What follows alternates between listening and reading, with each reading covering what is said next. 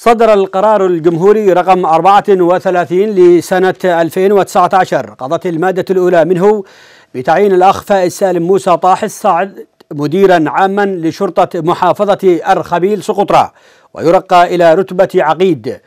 وقضت المادة الثانية والأخيرة من هذا القرار العمل به من تاريخ صدوره وينشر في الجريدة الرسمية والنشرات العسكرية.